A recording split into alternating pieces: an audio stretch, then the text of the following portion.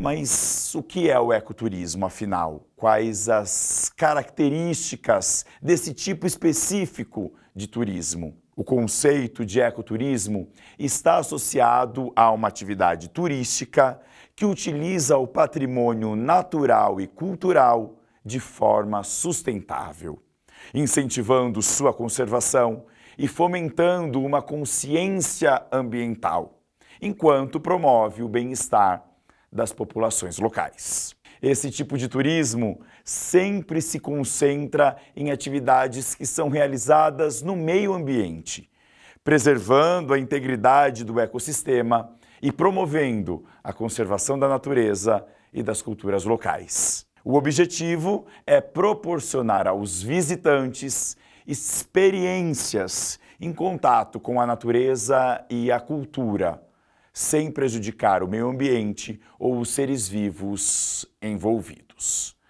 Além disso, essa proposta também tem um forte foco na educação ambiental. Por isso, também é comum que guias e instrutores ensinem aos visitantes sobre a importância da conservação e da preservação do meio ambiente e das comunidades que fazem parte dele.